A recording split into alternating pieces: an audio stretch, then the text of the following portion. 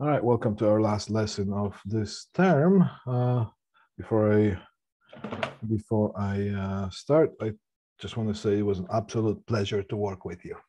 Okay, on uh, on uh, all that we had, I think uh, I think we did a pretty good job um, uh, carrying taking care of the content here. I'm happy with the progress. Now, as far as the test. Um, um, there is go I'm going to release this test either late tonight or early in the morning tomorrow. You're going to have to the rest of the week to complete that, same as the test before. I'm also going to, um, uh, within about an hour of, uh, of this last lecture, I'm going to release assignment number 10. It's that's going to be quicker than the previous ones. Uh, it's just going to be a bunch of questions to uh, to answer. So um, uh, it's going to be a little. I think it's going to be a little bit easier than the other ones. Nevertheless, uh, you're you're you're learning that. So uh, within about an hour after uh, after this class, that assignment, last assignment, is going to be released. okay, so the last last lecture of today is is Uh, we're going to take care of some topics here, analog versus digital, and then ADC versus DAC, microprocessor and microcontroller. Um, we're going to take care of the difference uh, between what is a microprocessor and what is a microcontroller.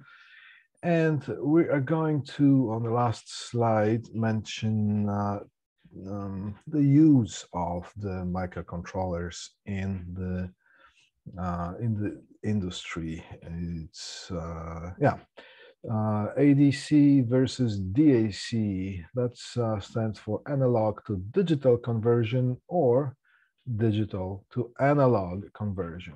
Okay, so let's uh, take care of uh, first thing that let's see the difference between an analog and digital um, representation of quantities okay? So on, uh, on this slide, we have two meters. One is two multimeters. One is analog, obviously here with the needle and the scale. And the other one is digital, right? So, and on the top of that says analog and digital. There are two different ways to represent or describe the quantities. Quantities like it could be voltage, could be current, uh, it could be resistance, it could be impedance, it could be weight, uh, it could be volume, anything can be, or temperature, uh, music, sound. Uh, so, uh, well, different ways to represent or describe. Uh, that's not the only way. It should also be different ways to um, store data. You can store data in an analog version you can store data in a digital format, right? The, the good old analog version would be uh, the, excuse me, uh, it would be the way we used to take photographs, pictures using the film in the camera, if anybody remembers uh, that idea. Uh, so there would be a camera with a film and the light would hit the film and it would just burn itself uh, the you know the grayscale and the colors would burn themselves onto the film in an analog sort of way. There would be no um, there would be no um, numbers associated with that uh, any sort of digital representation. Um, another way of analog recording would be uh, if anybody remembers as well. But right now, these things are coming back in a big way. Would be the old, good old uh, vinyl records, right? So uh, uh the vinyl record would be uh, having a track of um, of grooves that the needle would ride on and hit in them in a certain way, and the sound would be reproduced. Uh, the other way would be the tape, magnetic tape. Uh, this uh, the sound would be recorded on a magnetic tape in an analog way. There would be uh, certain magnetic levels um, embedded onto the magnetic tape, and they would be of different strengths. and it would be just uh, the, the, the the magnetic head that would read the, this thing from the, the the information from the tape. It would just sense how strong or how weak the signal is, and uh, that's how would uh, it, it would be passing on. It would pass on the information to the to, to further circuitry, so it could be amplified and um, and uh, you know set to the output, which would be something that's called a loudspeaker. Uh, a loudspeaker is another name of uh, for, for for the speaker that uh, that produces sound. And mind you, we're going to touch on something that is called transducers, because that term is also going to be used in today's presentation. A transducer is a device that converts one form of energy into another. Right? For example, a microphone is a transducer. A microphone would would pick up the sound waves uh, and it would convert from the something that's called longitudinal sound waves, uh, which would be the air pressure, um, extracting and compressing uh, um, periodically. And that signal would be converted into the electronic form of that signal. All right, so that's a, that would be a transducer. Right? Uh, digital term or a, or a temperature sensor device. That would also be a transducer. It would sense a temperature in the air uh, and that would convert that information into an electronic signal. Uh, so a transducer is something that converts one thing from one form to another, energy from one form to another. That's all there is. Antenna antenna from like a radio antenna. It would be converting, uh, if it would be a transmitting antenna, it would be converting a, uh, electronic or electric pulses or, or waves onto the electromagnetic waves that would just be um, broadcasted over the air. So transducer is a device that converts one form of energy onto another. Okay? Now, when we go back to this um, uh, to this slide here, we see two different uh, versions of a multimeter. One is the analog uh, version of it. Uh, you would have the leads uh, plugged into the digital, uh, sorry, analog multimeter, and it would make the um, the magnetic element, electromagnetic element, right there, the galvanometer, if you will, swing the needle one way or the other according to the signal that it gets. And the needle would just sway maybe halfway, maybe three quarters of a way, whatever the, uh, representation of the quantity or the magnitude of the quantity would it be. Now, uh, as opposed to displaying the quantities uh, magnitude in a number version. And sometimes, mm, sometimes you would prefer one or the other just because uh, the analog equipment was first, mm, and then as the technology moved forward, then the digital devices came about. It doesn't necessarily mean that the digital devices would always be the number one choice for whatever action you want to perform. Right?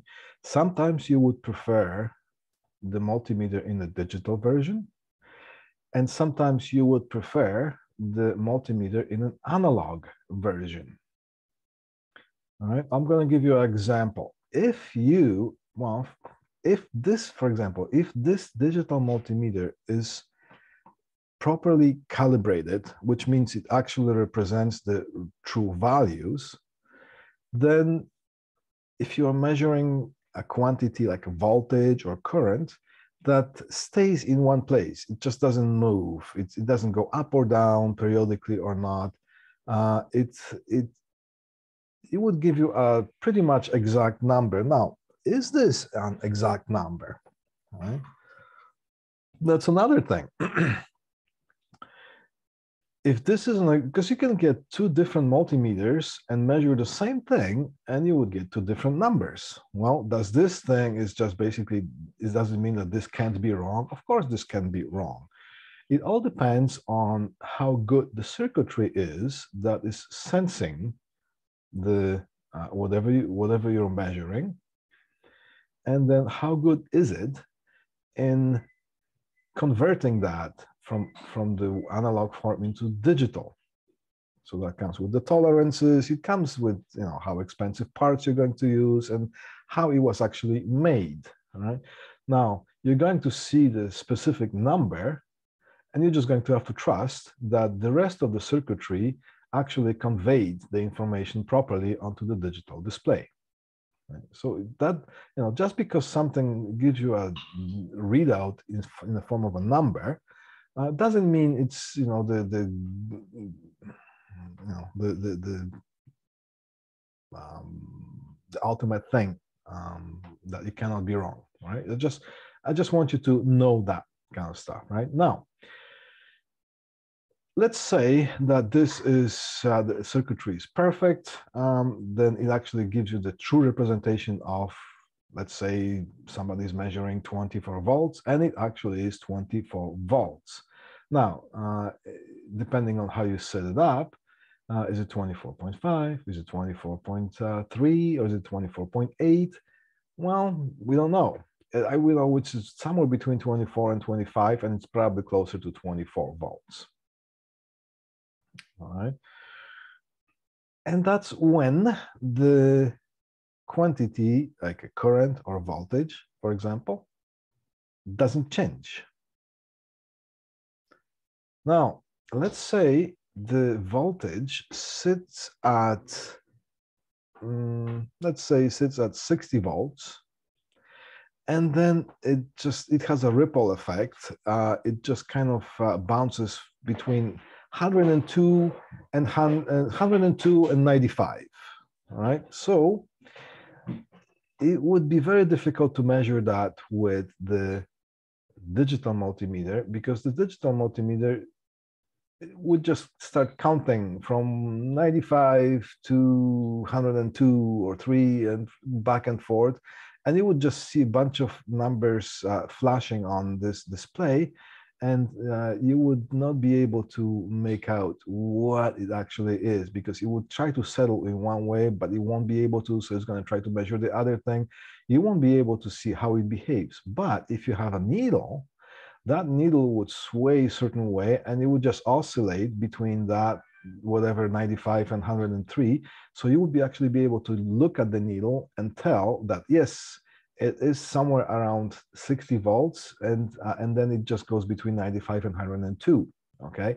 So that would be a that would be a scenario that uh, you would prefer to see to uh, to um, uh, to use the analog multimeter. So for different purposes sometimes you want to use the analog technology and sometimes you want to use the digital technology. Where digital technology um, stands out the most is the clarity of copying things um, you probably don't remember the situation uh, in, you know years ago that uh, uh, people would copy um, cassettes for each other.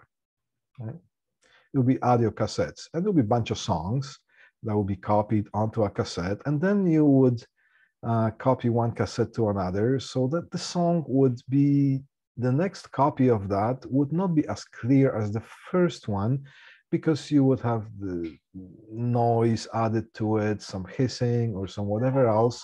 And whatever a copy of a copy of a copy, every time you copy that, uh, you would just bring the quality down. Now, when it comes to copying digital information, these are ones and zeros, and the information is just enclosed in, um, in, in a digital form.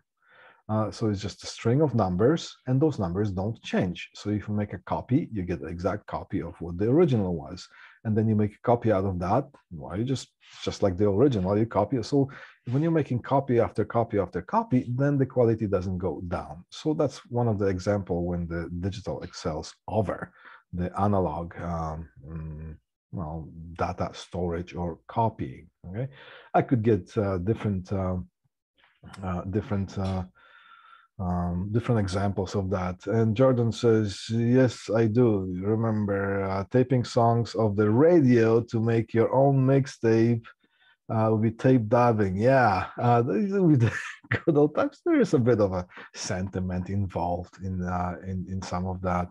Uh, now, a lot of people still prefer to use the um, vinyl records because there's something about that turntable that you put that black vinyl record on that, you put the needle on it, and it just sounds different. than the digital. Is it better quality or not? Maybe that's not the question. Maybe it's the way it is uh, uh, it is presented. Uh, same as the solid state MOSFETs uh, uh, amplifiers, they are the cleanest ones that of them all.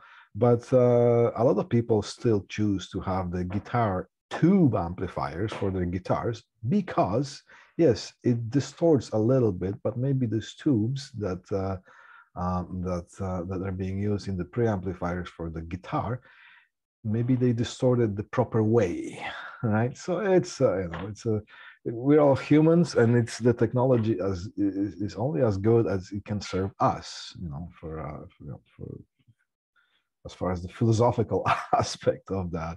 And yeah, tape dubbing, uh, yeah, sometimes there will be a button on the, uh, sometimes you will have ghetto blasters. Uh, uh you will have uh, two cassette packets in, uh, in, in, those, and you could tape from one tape to another. And there would be also a button that you could press that it would, it would do it twice as fast. So we just turn this, you, you couldn't listen to that because it would be just like, you know, the, the, the, the mice talking um, or chipmunks talking, right? Uh, so uh, uh, then, uh, but then uh, this the, the, the, the, tape could be dubbed uh, twice as fast with the quality slightly down, right? But anyways, back to the analog versus digital situation here. So yeah, so sometimes you would choose to have a digital um, measuring equipment uh, or digital equipment, and sometimes you would choose the analog. And I just gave you the example of, uh, of, of both. Why would you choose one over the other? Now, uh, oh, analog versus digital, analog and digital. So uh, I just carried on this description from the previous slide. So here's a waveform. Let's say this is a sound. Now, uh, this would not be a very pleasant sound to listen to for a long time because it's just a sound wave and it just sounds more like boo, right? You know, after a while, your ear, ears are going to hurt. But uh, but we're not going to make a proper uh, uh, well, proper sound because usually when you when you come to uh, when it comes to um, where is that um, the music that I was playing for you. Come on, come on, come on. Here it is. All right. I just do the uh, Sound Forge thing here. So basically the the sound waves, they look like this, right? And that's something that you can actually listen to. So this is uh, this is a software that's called Sound Forge. And you can see here, this is an analog form of a sound wave, but it is registered and recorded in a digital form. Now, when I stretch it a little bit, Let's see, let's get some bigger signal here. There we go, all right. Uh, now you can see if I keep magnifying it, then at some point you're going to see those little dots. These would be the samples. And this digital form of the signal is only as good as the resolution, as the digital resolution of the signal how many times per second can you sample that and record that, and then you just connect the dots. All right. So this would be an analog version converted into a digital way for storage purposes and then reproduction.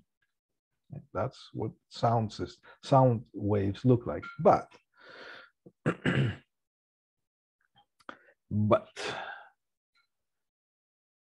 here, uh, just for the simplicity purposes, we're going to have a sine wave. Now, how many times can you sample things and record that and then reproduce that just by giving the numbers and the numbers you can give as levels. This is the um, decimal representation of just for the, uh, uh, you know, so we can have an e easier way to explain. Uh, so you would have, if, if this would be the x-axis, and this would be the y-axis. So this would be the time, and this would be the levels. And how many times can you chop that waveform into things? That will be the digital resolution.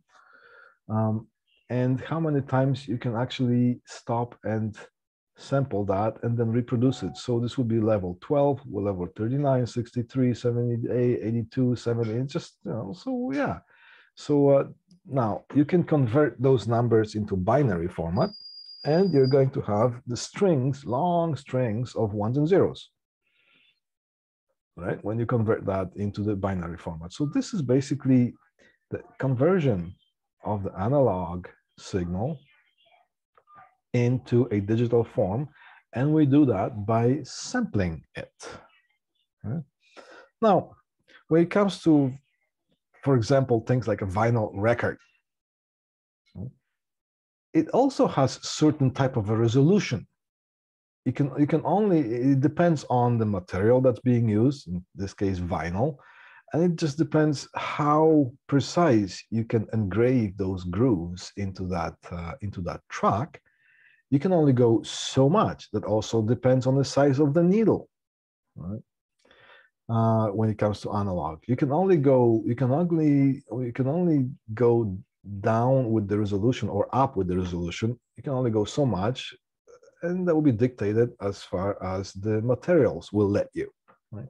Now, when it comes to digital resolution, it is dictated by the sampling rate and that also is dictated by the mm, quality of equipment. Some of the equipment are able, some of the equipment um, devices uh, are able to uh, to sample things a lot and very fast. So depends on the um, on the resolution or the input resolution of the uh, um, of the of the equipment how fast they can recognize the change, um, and uh, how much memory you have to store that. Because the more numbers you produce, you have to have something to store this thing with, right? Uh, so, uh, so here's the yeah. So here's the, um, the, the the and now you can convert analog into digital, and then if you have something to read those samples, you can convert it back to analog because what would be the point of recording music into a digital format if you can't convert it back to listen back to it right uh, so uh, so here it is how do we convert digital to analog by sampling per time right? And how many samples can you get? That depends on the number of bits that you can have. All right now analog ADC, analog to digital conversion or analog uh, ADC, analog to digital converter, this is described as the bridge between the sensors, or otherwise known as transducers, and the and here the computer systems or the digital equipment. So on, on the left side here, you have the sensors and transducers. So sensor would be a microphone membrane and the transducer would be the circuitry that converts, that is able to sense that sensor and convert that into an electronic signal. Okay. And you're going to have some sort of a resolution, like if you're if, if you're doing the uh, five volt system, uh, then uh, like TTL, for example, we go from zero to five. Uh, so this would sense and this, this sensors and transducer would sense the signal, would feed that into the digital conversion box and the analog levels will be converted to numbers by sampling them over time per time and then it would be pushed on to the digital system, like a computer system, whatever that is. Okay, so that would be the ADC stands for analog to digital converter. Okay, now here's a bit of a, uh, a bit of a um, diagram or graph. Over here, that's not time, that's volts. So this is from zero to five volts. And look here, this there's no unit here. This is just number. These are just numbers from zero to 255. Hmm.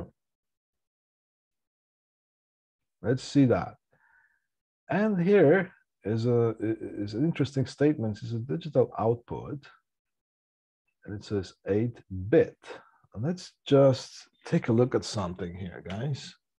I'm going to call up a calculator. Can we see it? Yes, I think we can see it. All right, so where's the, uh, okay. So let's say two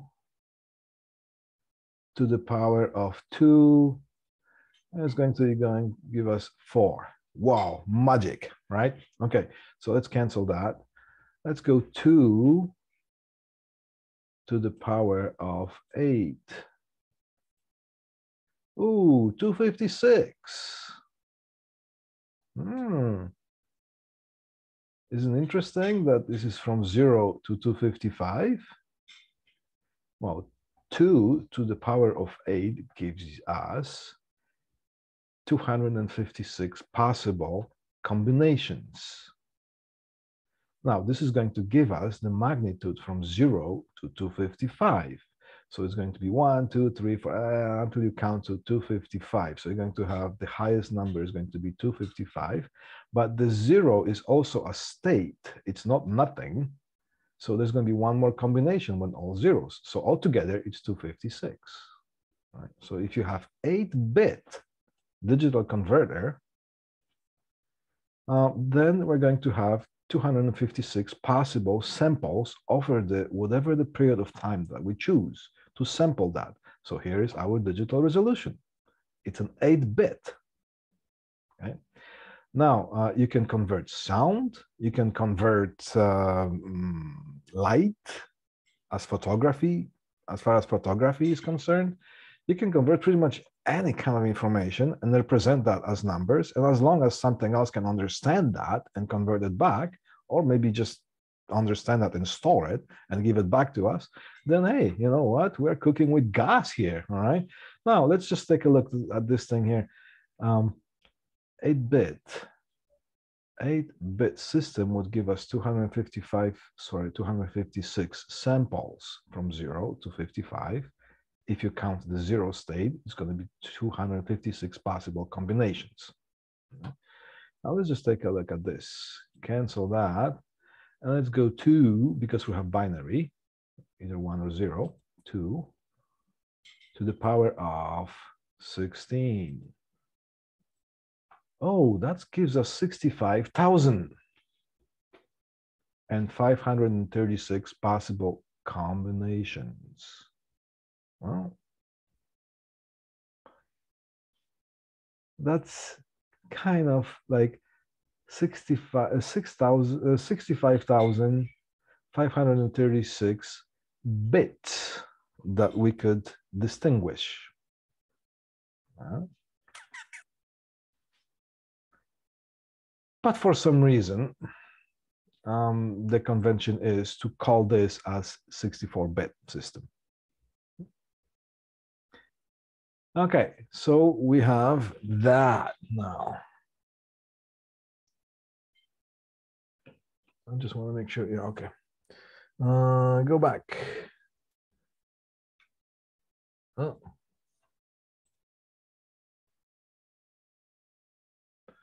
All right, Shift F5. Come on, give us the uh, give us a PowerPoint presentation back here. All right, so now we have the digital resolution taken care of. All right. Now, analog to digital converter, they come with the ghost converters, ADCs.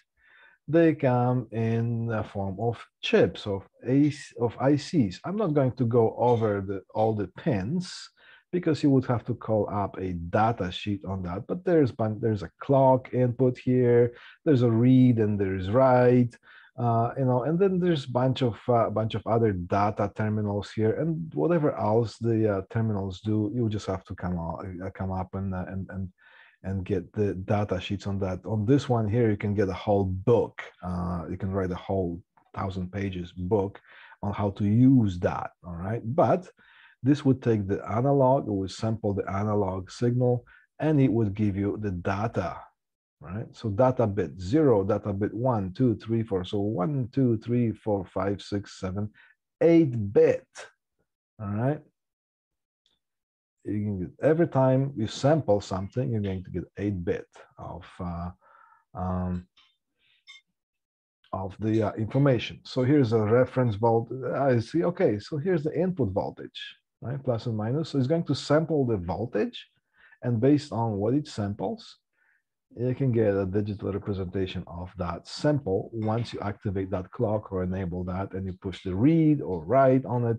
Uh, you can just, uh, I would encourage you to, to, to get um, and study some of the projects that are involved using this type of thing. Um, as an example, when I was in college, we did um, a simple digital voltmeter using one of these. Go on Google, go on YouTube, um, and get maybe some maybe some uh, some projects like do-it-yourself projects to do. Play with that. Put it on the breadboard. Uh, connect some wires and see if you can make yourself a digital voltmeter using the LED cascaded chip with the LED strips from, or you can just get a bunch of LEDs. You can get 10 of them. Right? And based on what voltage you're going to, you're going to have, you know, from zero to 10 volts. And you see how many LEDs you can light up using that kind of chip. Right? Pretty cool stuff to do. Right? All right, so DAC. All right. All right digital to analog conversion, it just goes the other way. All right. So here we have the digital circuitry, uh, popularly named as the computer system. Right. And here's the digital signal, and that is being fed into a digital to analog converter. And it is going to give us an analog representation of that. All right. So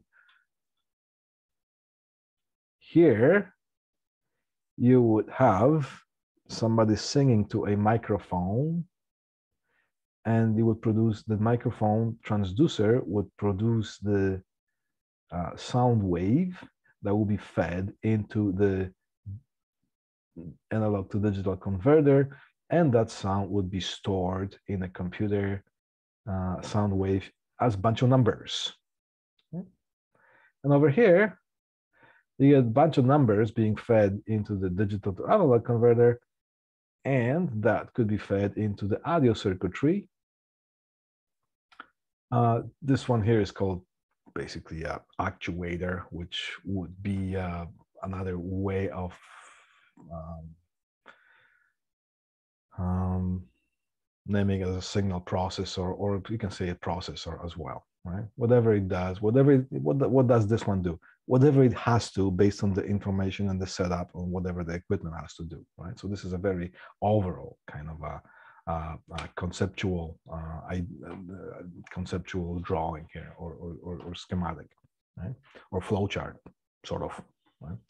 Uh, okay, so we got uh, the conversion analog to digital. So DAC, digital to analog conversion, or ADC, uh, which would be the analog to digital conversion. Okay? And there's another example of a chip that would do just that. It would be digital to analog conversion. If you really, really want to get cute about things um, and expand your knowledge, uh, you can uh, you can um, go as far as uh, tackling a little bit more ambitious project of uh, well building something on a breadboard or maybe later on you can make a printed circuit board later on uh, that would involve uh, just a simple thing uh, to to convert some sort of analog information to digital and then convert it back to analog. So you would have a sound coming in and you would have all the circuitry that's there and you would have a sound coming out. Well, you know it's you can only you can go as far as you want with this thing or you can just come to class and listen to the lecture and pass the test all right now we're going to take care of the differences between microprocessor and a microcontroller it is kind of important to know right Um, let's see here. Right. Microprocessor versus microcontroller. And here's the description of microprocessor. Uh, central processing unit right? or microprocessor unit. It's a chip, integrated circuit, IC, which has only the CPU inside, central processing unit.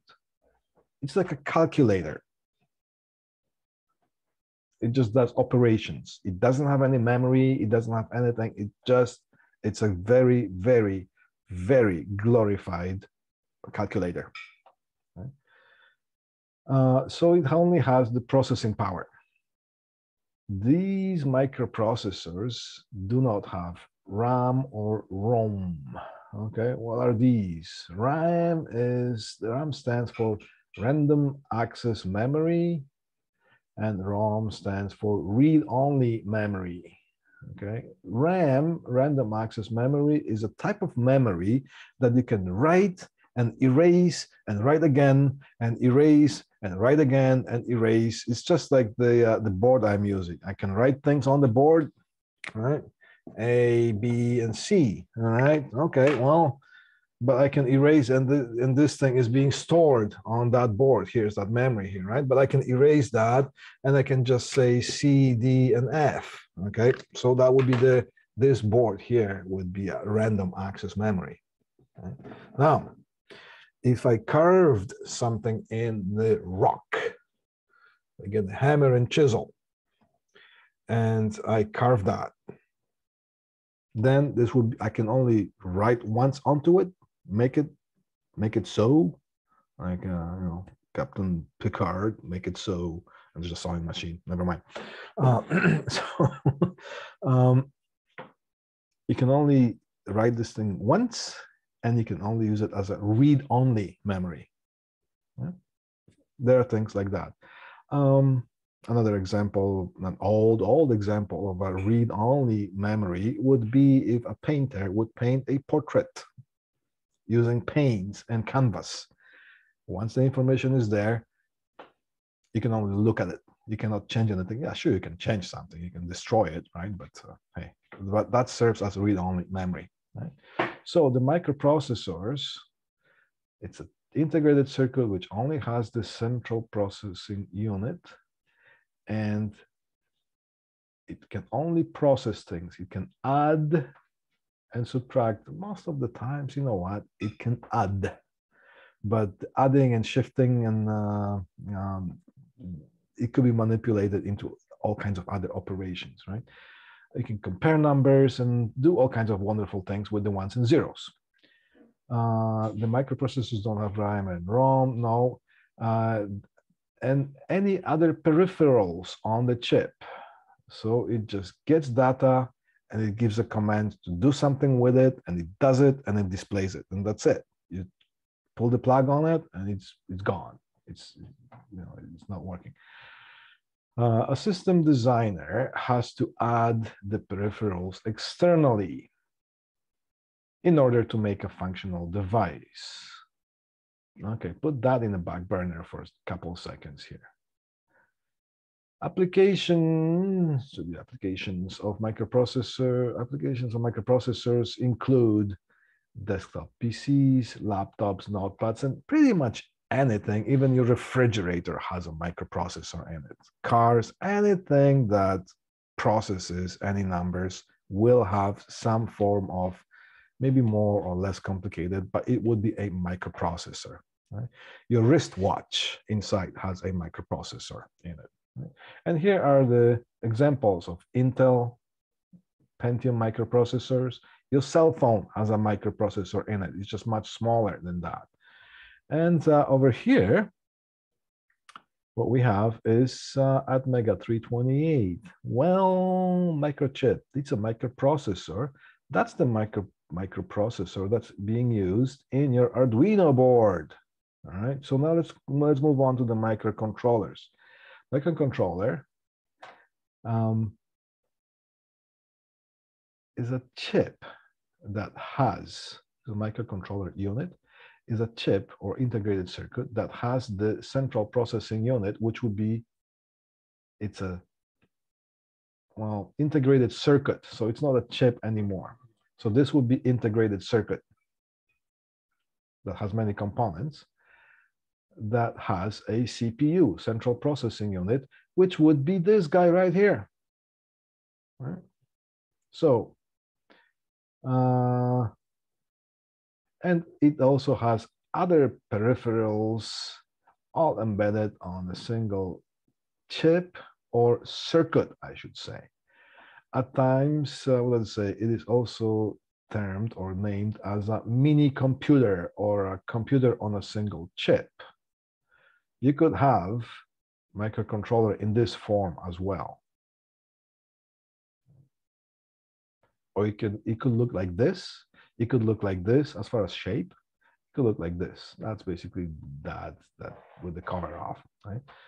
Uh, now, a wide range of features are available in different versions, uh, depending of what kind of microcontroller somebody does. Uh, there will be different devices, right? Some manufacturers of microcontrollers will be Atmel Microchip, blah, blah, blah, Philips, Motorola, Texas Instruments, and I just added a little Arduino here. And there's that good one, there's a big one, etc. does it too, okay?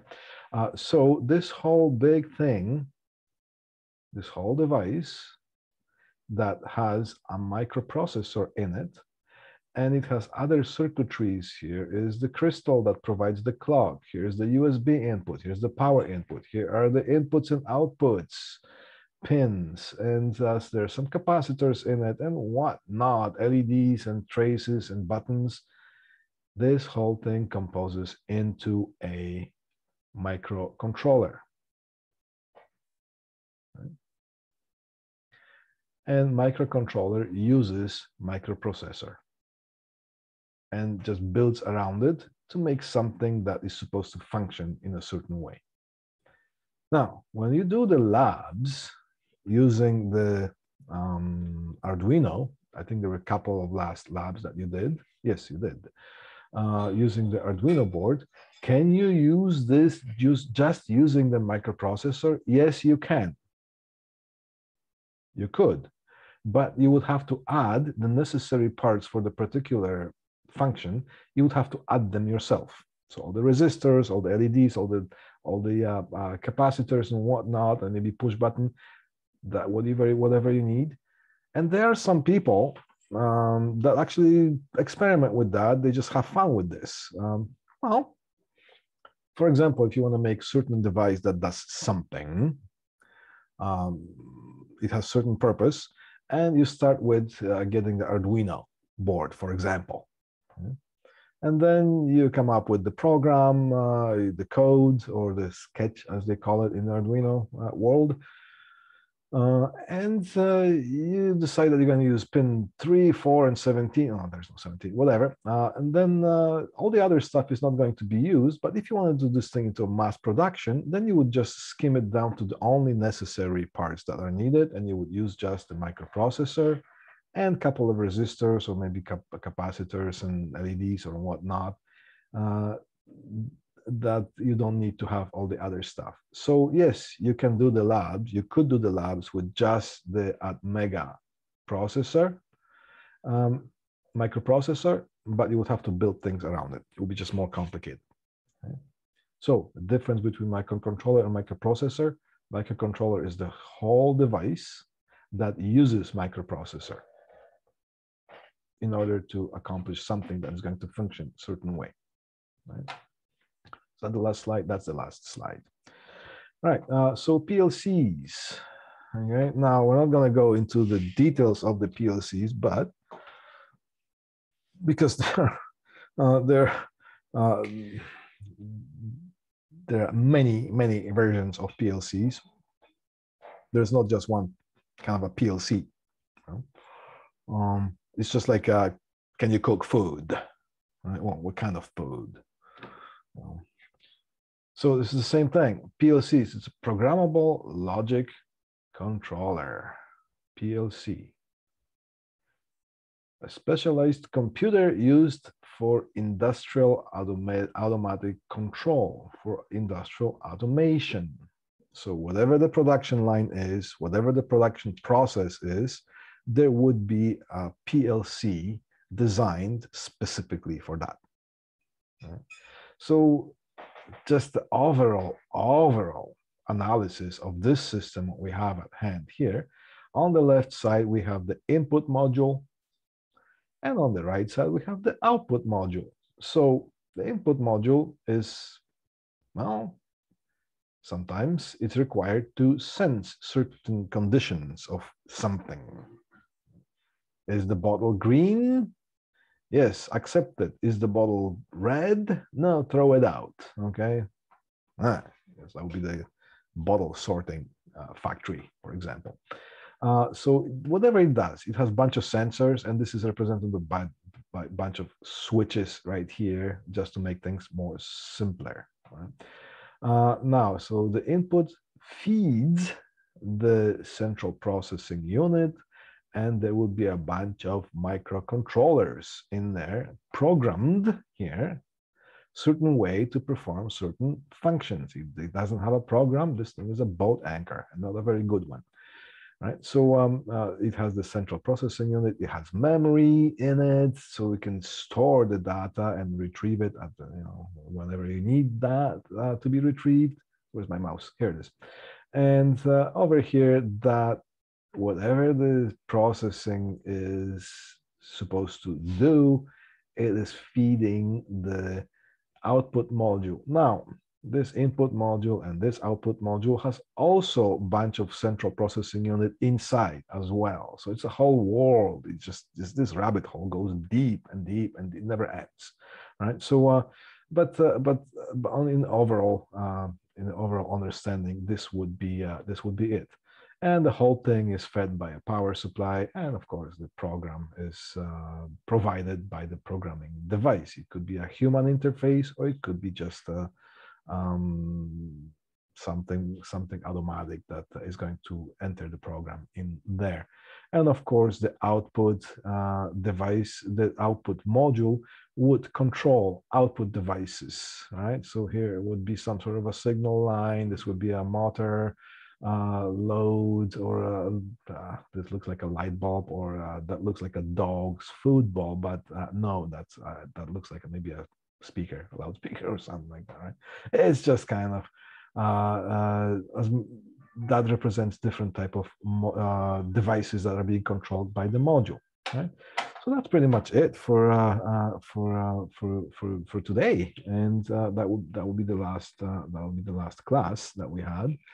Um, so as I said, I'm going to release the uh, I'm going to release the assignment number 10, which was going to be uh, a, some it's a sheet of questions that are going to uh, answer on the same basis that we did uh, all the other assignments. And uh, later on today, um, today is Tuesday, um, Wednesday afternoon, the latest. Okay, I'm going to release the last test, and the test is going to cover just the materials that we did since uh, Mrs. Hashemi and I came on board uh, to teach this class.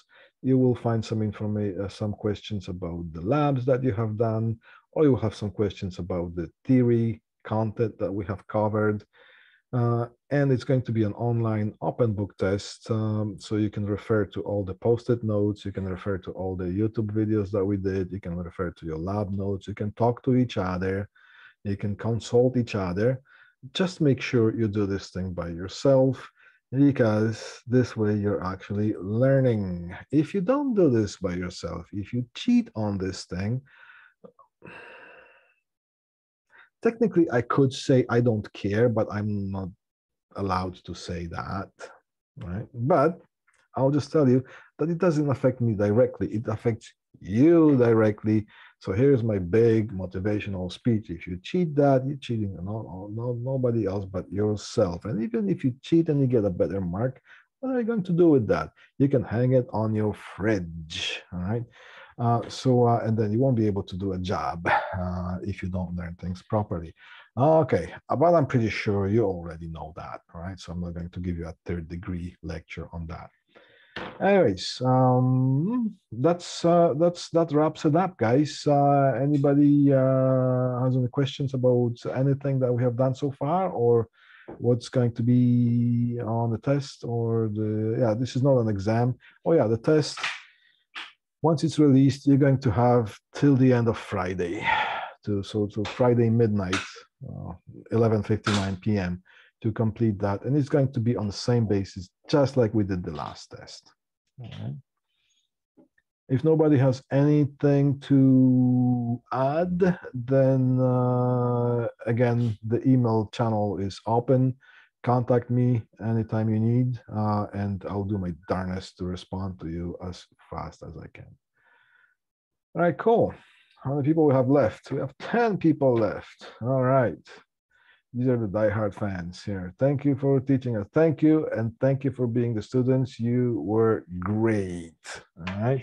And I hope I will be able to see you maybe teaching other subjects uh, as we go along in our college. All right. Have a good one, guys. And all the best. Enjoy the rest of the summer.